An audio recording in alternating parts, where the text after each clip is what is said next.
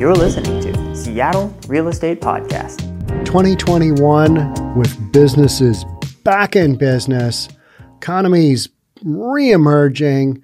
We're no longer under lockdown. Well, I mean, most of us, some countries, Australia, severe lockdown over one case of the Rona. I exaggerate, but not by that much, right? So in 2021, we have the perfect storm for container shipping. What does that even mean? Well, if you go into any port, and here in the Seattle uh, city of Seattle, we've literally got the port of Seattle, which is a major shipping port. Whole bunch of ships out there waiting to offload their stuff because we don't have enough guys and gals to get the stuff off the ship and then truck the, sh- the stuff to wherever to store it, all that good stuff. Don't crane operators. You got a labor supply issue, right? I mean, just all across the board and just all facets of business. But container shipping, the numbers on container shipping, it's it's pretty crazy what they started off in 2019 where they are right now. And we wonder why all of our prices go up. And we wonder when we go to the grocery store, wasn't that that much last week? Oh, it was. It's just a lot more now.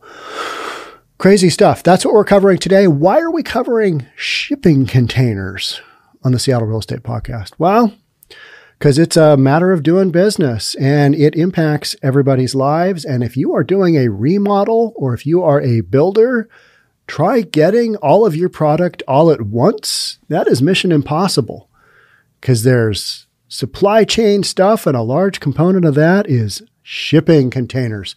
All right, before we jump on in here, if you're new, thanks for joining. My name is Sean Reynolds. I own a couple of real estate companies here in the greater Seattle uh, real estate area. Real estate area, that makes no sense, but you know what I mean. And I read the news. Let's get into it. Okay, here we go. And then the tagline for this article, and this isn't The Economist. We are we're getting into some serious stuff here. We're really delving. No more of this bubblegum media. We're just we're going to go right into it and just talk about stuff. A giant ship wedged across the Suez Canal. Remember that? Oh, that was horrible. Record-breaking shipping rates, armadas of vessels waiting outside ports. COVID-induced shutdowns. The business of container shipping has rarely been as dramatic as it has in 2021. The average cost of shipping a standard large container, which is a 40 foot equivalent unit, or FEU, has surpassed $10,000, some four times higher than a year ago. The spot price for sending a, such a box from Shanghai to New York, which in 2019 would have been around 2500 bucks, is now close to 15,000. And I'm told that is actually higher, and that could be as high as $25,000, a tenfold increase from the 2500 it was in 2019. No wonder we've got some inflation on our goods, right? I mean, and this stuff just all gets passed along to the consumer. If the vendor has to pay more for shipping, somebody's going to pay because otherwise this doesn't make sense. You can't stay in business hemorrhaging money. So you got to pass those costs along to the consumer. And the consumer goes, oh, inflation. But don't worry. Federal Reserve has said this is temporary. It's going to go away. Things mellow out. There won't be any inflation. What inflation? Securing a late booking on the busiest route from China to the west coast of America could cost $20,000. Realistically, that's probably more like 30, right? Any of my shipping container friends out there, leave me some comments. Love to know what the real deal is because sometimes by the time I read these stories, enough time has gone by where it's like, okay, yeah, that's, that's more. It's going to cost more. In response, some companies are resorting to desperate measures, desperate times, desperate measures. Peloton, a maker of pricey exercise bikes, is switching to air freight. Man, costs are also sky high, double those in January 2020, as capacity, half usually provided in the holds of passenger jets, is constrained by curbs on international flights. Home Depot and Walmart, two American retailers, have chartered ships directly. Pressing inappropriate vessels into service has proved near disastrous. An attempt in July to carry containers on a bulk carrier, which generally carts coal or iron ore, was hastily abandoned when the load shifted, forcing a return to port. More containers are traveling across Asia by train. Some are even reportedly being trucked from China to Europe. So, China to Europe, then shipped across the Atlantic to avoid clogged Chinese ports. All right, how are we going to get it there? Are we going to ship it the whole way? No, let's just go back to the John Candy planes, trains, and automobiles. We'll just see how we get our stuff there, right? Trains, planes, and lorries can only do so much, especially when it comes to shifting goods halfway around the planet. Container ships lug around a quarter of the world's traded goods by volume and three fifths by value. So what was that?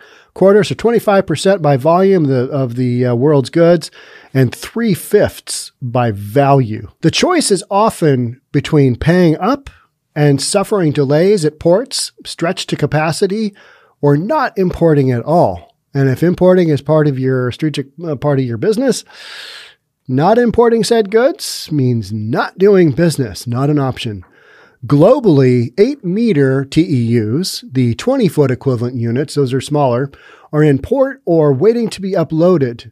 Uh, 8 million of these are either in port or waiting to be uploaded. 8 million. That's up by 10% year on year. At the end of August, over 40 container ships were anchored off Los Angeles and Long Beach. Those are the stories you see where you're like, all right, I know that's the port. I, I can see the Space Needle there. And what are all those dots off in the distance? What's all that about? Those are ships. It's crazy. At the end of August, over 40 container ships anchored off LA and Long Beach. These serve as car parks, parking lots for containers, says Eleanor Hadley of Drewry a shipping consultancy. And in order to avoid clogging ports that in turn lack trains or, or cars to shift goods to warehouses that are already full, the pinch point, she, she adds, is the entire chain. There is no pinch point, is what she's saying. Hey, this whole thing is we, we don't have enough people to run the whole chain. Therefore, ships got to stay out there, wait everything's backed up. And Anybody who does Amazon like reseller, um, yeah, they're constantly talking about oh, my shipping costs have gone through the roof. Or I'm bringing part of my order, I'm bringing the first part of my order in. Just had this con- uh, conversation with my guy Darian. Uh, bring the first part of the order in via air, which is way more expensive. But then at least you've got some product to sell when you need to and then you bring the rest of the product in via shipping container and you know that could take who knows how long but you just wait because what else are you going to do? Not sell stuff? Well that's an option but that's also not really how business works. For years container shipping kept supply chains running and globalization humming with shops' shelves fully stocked and products from the other side of the world turning up prominently on customers' doorsteps, the industry drew barely any outside attention. Everything's great, everything's going well, not a problem. But then when people start to say, I can't get my stuff, that's when it goes sideways, right? Shipping was so cheap that it was almost immaterial, said David Kerstens of Jefferies, which is a bank. By now, but now, as disruption heaps upon disruption, the metal boxes are losing their reputation for low prices and reliability. Few experts think things will get better before early next year.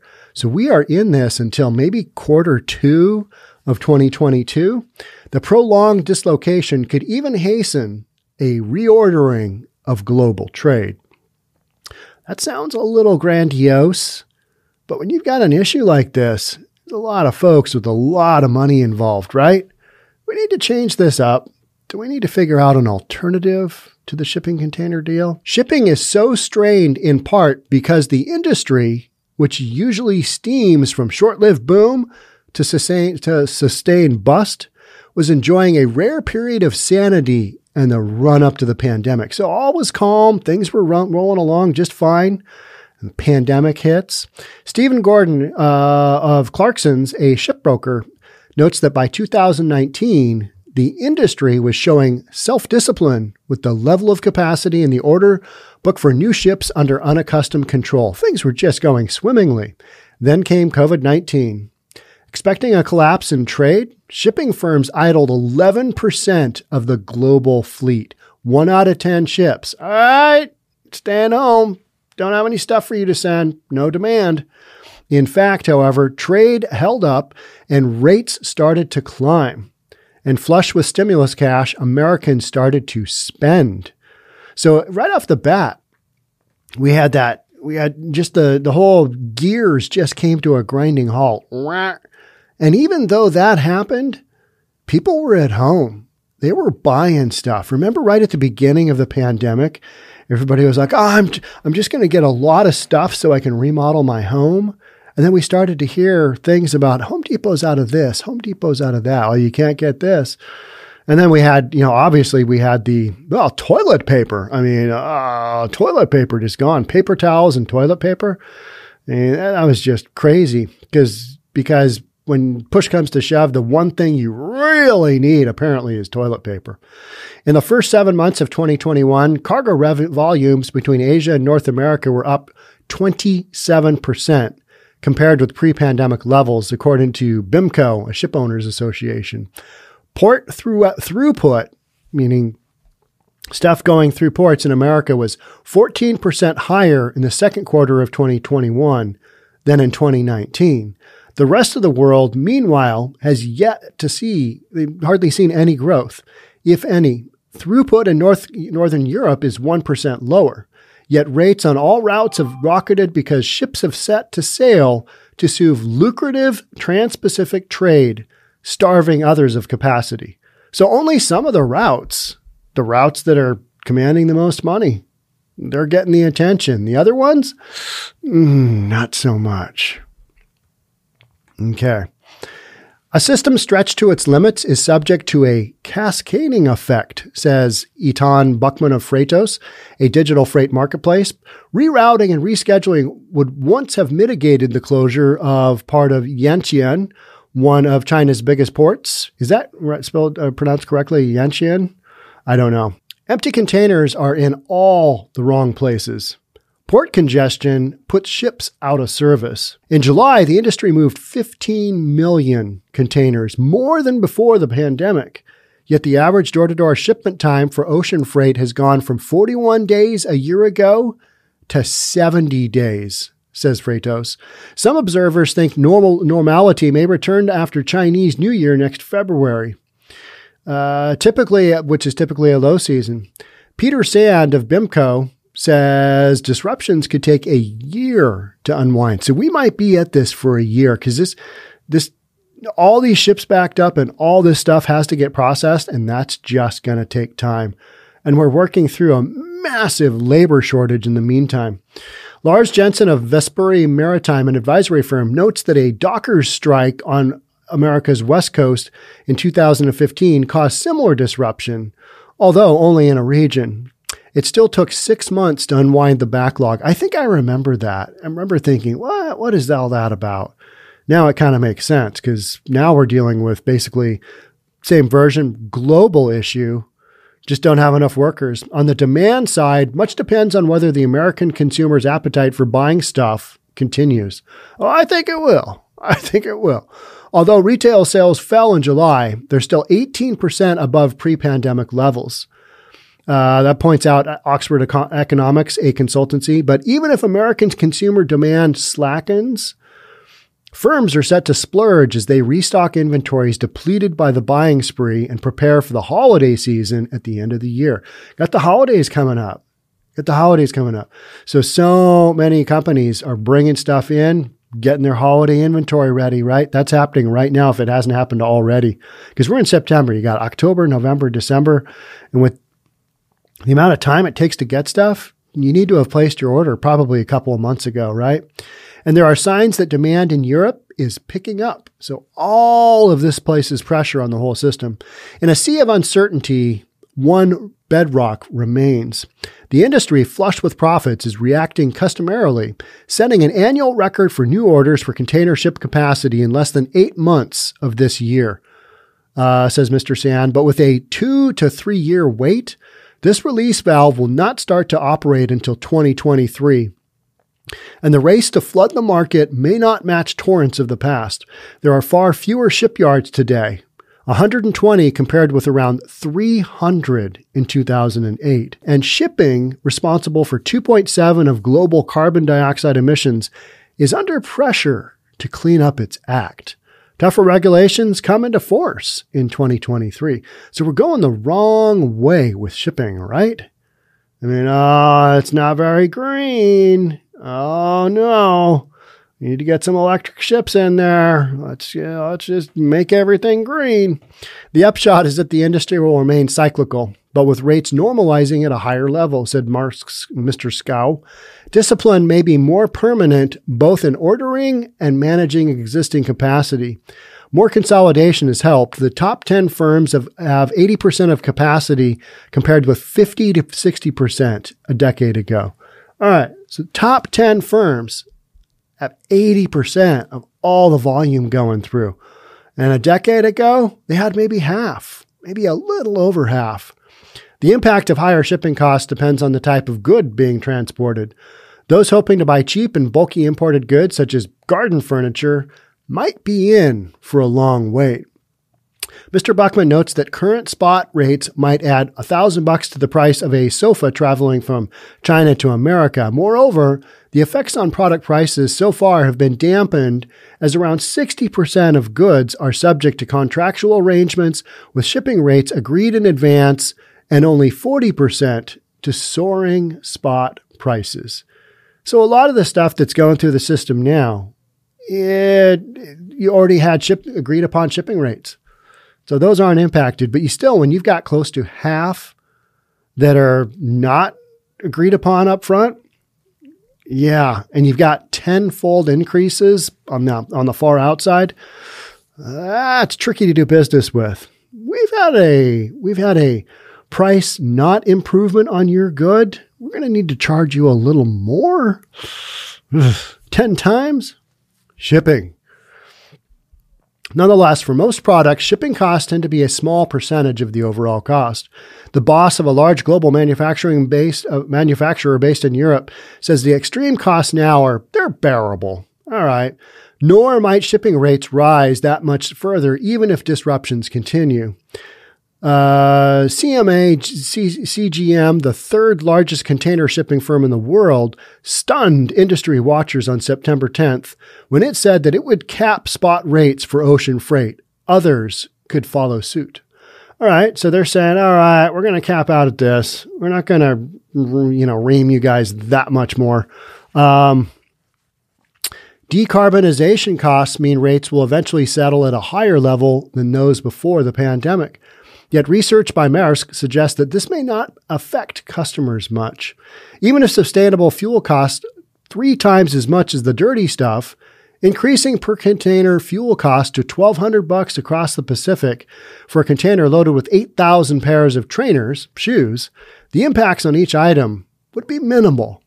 So you think about smaller products and you think about how big a shipping container is, and then you think about hundreds of shipping containers, thousands of shipping containers. The per unit price of shipping is what we're saying hasn't been impacted that much. But overall, I mean, it's a ton. The, abs- the absolute number, you go from 2,500 bucks up to 15 grand, maybe 20, maybe 25 grand. Those are huge numbers. Those are huge increases. But when you spread it out, okay, yeah, it makes sense. So for their part, let's we're going to skip down here. So for their part, shipping firms may be preparing for more regionalized trade. Let's keep it local. The order book is bulging for ships of 13 to 15,000 TEUs. Those are the big ones. Smaller than the mega vessels, which can only be handled at the biggest ports. Uh, okay, so 13 to 15,000 TEU, that's the smaller than the mega ves- vessels, which can only be handled at the biggest port. Sorry, my shipping container lingo, it's no good. I'm, I don't really know much. Finding new manufacturers is hard. However, especially for complex products, and building buffers and building buffers into supply chains is costly. But conversations about deglobalizing are said to be starting among some makers of low cost clothing and commodity goods. If higher costs persist and reliability remains a problem, some will judge that the advantages of proximity to suppliers will start to outweigh the costs of shipping goods made far away. Interesting. So, what we're saying, bookmark this spot, what we're saying is that maybe we don't rely upon shipping quite so much. All right, remember that shipping snafu we had in 2021 and 2015? Let's try and circumvent that a little. We bring our stuff in from hmm, domestic? What kind of impact would that have on China? Hmm. Yeah. Even shipping companies admit that current high rates and poor reliability make consumers feel fleeced. With few alternatives to ships to move goods around, the only choice will be to move the factories that make them. Hmm, we're going to move all those factories from China to here? United States? No, we are not. Okay, so I think the moral of the story is you're gonna you're gonna see supply chain, you know, impacts to the supply chain through maybe the middle of next year, and probably deeper than that. I mean, it could take a year for a lot of this stuff to unwind. Some of it's obviously going to unwind much sooner, but there are so many different facets right now of just business that are lacking personnel. They're lacking the labor to run them. And a lot of folks are talking about, okay, the federal unemployment benefits, those extras, those are gone now. Those have been sunsetted. Those are gone now. So we should be getting, you know, workers back into the workplace. But the whole disruption shutting businesses down, reopening businesses, you know, and, you know, supply chain was right in there. And everybody figured, okay, things are just going to tank. We're going to shut all these businesses down, not only because they're being mandated to be shut down, but because we don't see the demand there. And the demand just kept on it going. We still wanted to remodel our homes. We still wanted to exercise at home. So we're going to buy a whole bunch of exercise equipment. We're going to buy dumbbells. Everything was bought out and on back order, and it just took forever. And then you started hearing about, well, it's shipping logistics. Shipping logistics. I, I can't get my stuff. It's on a slow boat from China, literally. Can't get my stuff, and ah, my boat's stuck in port. It's going to take two weeks to do whatever, whatever. Then it's going to take another month from them, and and we're not sure. We, you know, don't have enough truck drivers to haul the stuff. Don't have enough crane operators to get the ships off the ship on into the port. You know, all that stuff depends on shortage of laborers to run those businesses, and that is ongoing. So it's going to take a while to unwind. I think a lot of these issues, a lot longer than people want and a lot longer than people are willing to probably go, okay, how long is this going to be upside down? Probably a while. So I guess expect to see prices continue to hike for a while until things kind of level out. That's kind of my thought. Because I think there can only be so many price increases before the consumer goes, oh, I'm just going to move on to that. And so we've still got these price increases that are probably coming that we haven't seen yet because the consumer can kind of only really stomach so much at a time. So that's where people saying, yeah, inflation, it's just short term. Well, I don't know. I kind of think it's a little bit longer term here, but that's just me. All right, that's it for me on this one. That's it for me on shipping containers. They cost more now. That's the bottom line. There's lots of them stuck outside a port that's another bottom line.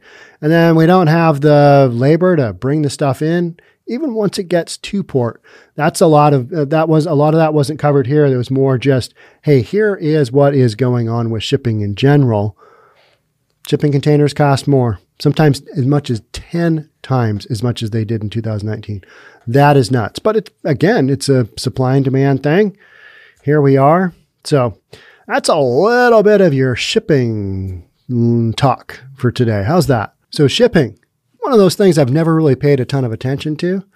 During the coronavirus, you certainly do, because then you realize this is literally why my stuff is more expensive and it's taking longer to get to me because the whole shipping deal, the whole supply chain, I bet you've had more conversations about supply chain than ever due to the coronavirus.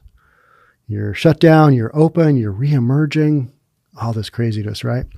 All right. That's it for me on shipping, shipping containers, all that good stuff. Thanks for being here. Thanks for being part of the Seattle Real Estate Podcast. Until next time, stay safe. We'll talk then. Bye for now.